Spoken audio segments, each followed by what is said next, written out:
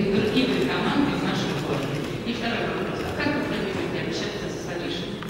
Спасибо. Ну,